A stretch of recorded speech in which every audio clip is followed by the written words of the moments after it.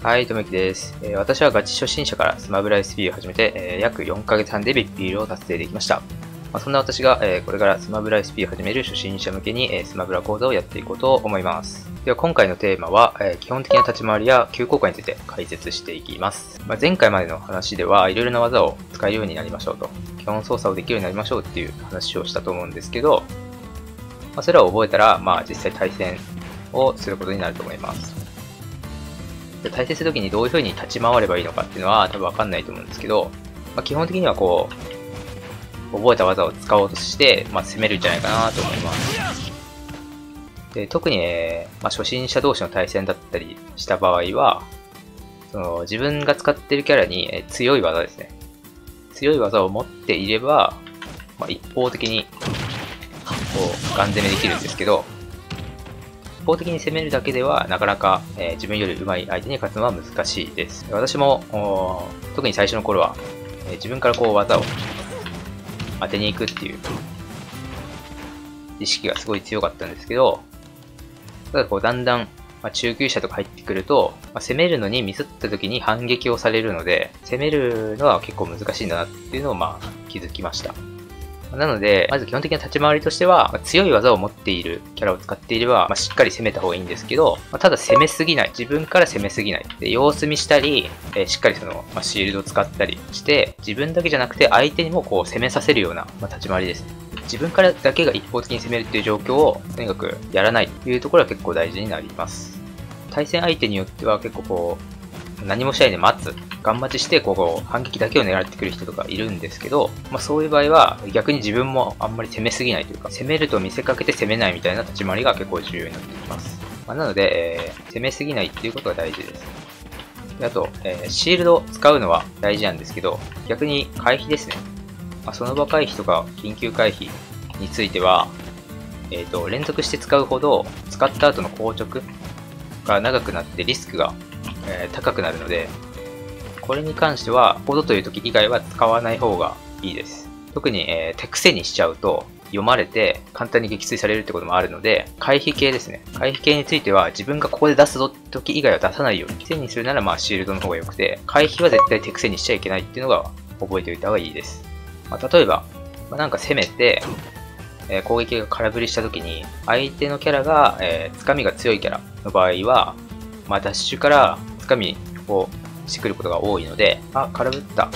掴みしてくると思った時に、こう、まあ、回避をすると。あくまでも相手の投げ読んだり、どうせここ投げ使ってくるんでしょっていうタイミングで回避については使うっていうのが基本です。まあ、特に横回避なんかは結構使い勝手がいいんですけど、これは本当に手癖にすると簡単に読まれてしまう構造の一つなので、えー、注意してください。はい。で、攻めすぎちゃいけないその理由としては、す、べ、ての行動ですね。例えば技だったり、ジャンプだったり、えダッシュとか歩きもそうなんですけど、まあ、全てのコードには隙があります。まあ、コードに応じてその隙の大きさっていうのは違うんですけど、どんなコードに対してもその隙があるので、例えば攻撃を振って当たればいいんですけど、まあ、それをシールドで、えガードされたり、あと攻撃を空振ってしまった時は、ま、隙があるので、ま、反撃されることがあります。ま、つまりリスクが、え高いよと。当たればいいんですけど、当たんなかった時はリスクが一応ありますよと。で、それ、そのリスクの大きさ、月の大きさについては、えー、使ってるキャラの技によって全然違うので、まあ、自分の使ってるキャラでどの技がその隙が大きいのかっていうのを把握してるのは結構、まあ、大事かなと思います。まあ、ジャック攻撃なら空振ってもそんなに隙はないんですけど、まあ、スマッシュ攻撃は空振った後に隙が大きいです。まあ、これが分かりやすい例かなと思います。この技の隙については、えー、まあ一般的な格闘ゲームのそのフレームと呼ばれるものに関係していて、ちょっと難しい話なので、詳しい話は割愛しますが、まあ、簡単に説明すると、技を出してから相手に当たるまでの時間、すぐ当たる技と当たるまでに時間がある技があります。当たるのが早いのを発生が早い技と言っています。発生フレームが早い技だよってことです。で、もう一つは、え技の判定が強い技があります。まあ、具体的には、技が出てから、えっ、ー、と、長い間ですね。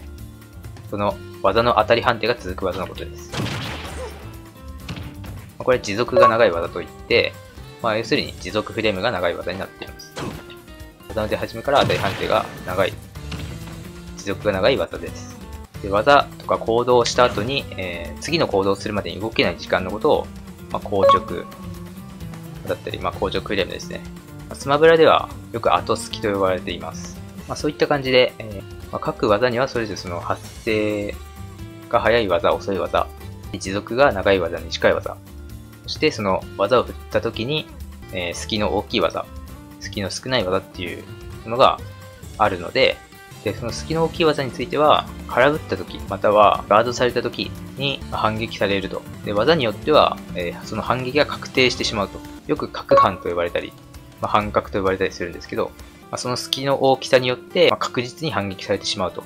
まあ、なので、その攻めしすぎるような、攻めだけの立ち回りはリスクが高いですよということを覚えておいてください。まあ、補足として、えー、例えば剣士系のキャラだと、剣の先端をうまく当てると、その確定で反撃をもらわなかったりするので、剣士系のキャラはそういうところが長所だったりもします。ただその剣の先端を当てるのは結構難しいです。というところで、まあ基本的な立ち回りだったり、その技の隙について、えー、説明したんですけど、加えて、今のうちから覚えておいた方がいいこととして、えー、急効果があります。これ何かっていうと、まあ、ジャンプのその着地した瞬間に隙があるので、この隙を減らすテクニックとして、えー、急効果というものがあります。簡単に、えー、説明すると、まあ、早く着地して隙を減らすことが可能です。普通に小ジャンプをすると、これなんですけど、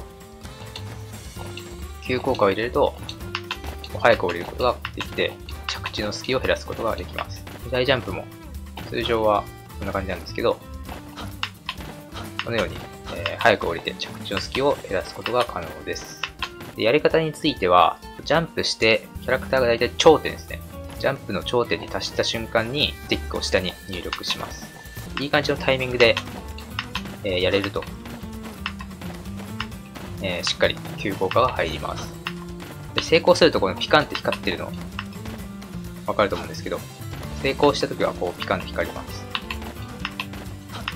上手い人のプレイを見た時に、こ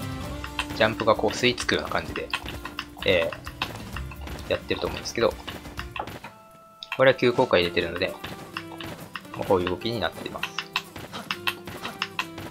で、この急効果については、空中技を出した瞬間にも使うことができて、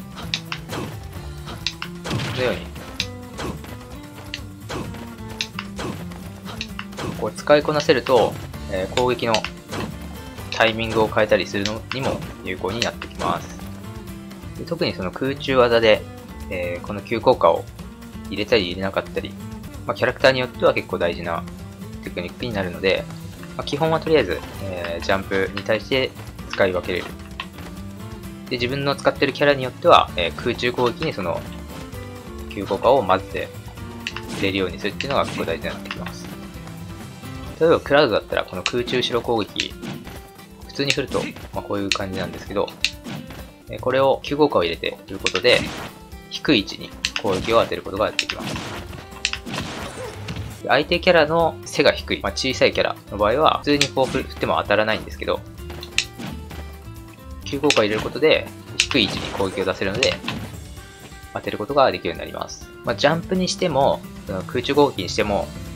えー、絶対急効果を使うのがいいっていうわけじゃなくて、入れたり入れなかったり混ぜれるのが結構重要になってきます。で、この急効果結構、まあ、手癖にしたり意識的にやっていかないとなかなかこう、特に、えー、初心者の人はうまく出せないと思うんで、で今のうちから、えー、急効果を出したいと思った時に、えー、しっかり出せるように、えー、練習を積み重ねていくと、えー、後々中級者以上になった時に結構生きてきます。はい。ということで、今回は基本的な立ち回りや、えー、急効果について、えー、解説しました。えー、まとめると、まあ、立ち回りについては、えー、とにかく攻めすぎないこと、そして、えー、様子見だったり、えシールドでしっかりガードするっていうのは結構大事です。ただ、回避は癖にしないように注意しましょう。で技だったり、え各種行動には、え隙があります。で攻撃を空振りしたり、シールドでガードされると、うん、その隙を狙われるので、特に隙の大きい技を使うときは注意が必要です。でジャンプや空中攻撃には着地の隙を減らす、え急効果というテクニックがあります。これを使うことによって着地の隙を減らして着地狩りを拒否したり、あと空中攻撃に混ぜて攻撃のタイミングをずらしたり、特に中級者以上で必須のテクニックになっていきます。ただこの空効果は慣れるまでは難しいので、今のうちから練習しておくと後々生きてくるのでおすすめです。はい、ということで今回はこれにて終わりたいと思います。ご視聴いただきありがとうございました。よろしければチャンネル登録、そして、え、概要欄に Twitter リンクも貼っておりますので、よかったらフォローもお願いいたします。それでは、またです。